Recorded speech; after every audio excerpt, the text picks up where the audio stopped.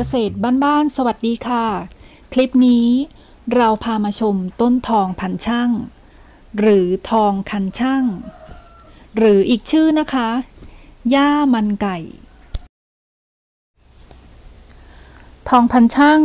เป็นไม้ทรงพุ่มขนาดเล็กค่ะ ลักษณะลำต้น กิ่งอ่อนนะคะจะมีลักษณะเป็นเหลี่ยมเล็กน้อยค่ะ สามารถขยายพันธุ์ได้โดยการปักชำกิ่ง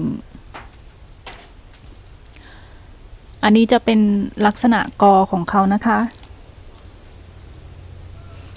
เมื่อเราตัดแต่งใบเขาก็จะแตกใบใหม่ขึ้นมาเป็นทรงพุ่มหนาแบบนี้เลยนะคะ ลักษณะใบค่ะ ใบจะมีลักษณะเป็นรูปรีนะคะ ขอบใบเรียบค่ะ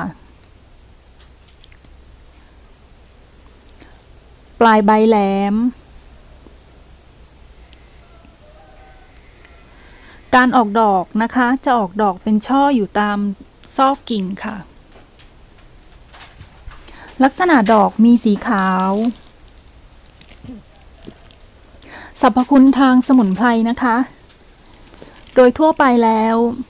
นิยมใช้เป็นยาสมุนไพร รักษาโรคผิวหนังค่ะ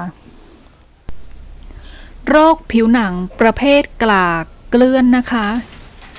โดยส่วนที่นำมาใช้ จะเป็นส่วนของใบสดและรากค่ะสำหรับคลิปนี้ ลากันไปก่อนค่ะ สวัสดีค่ะ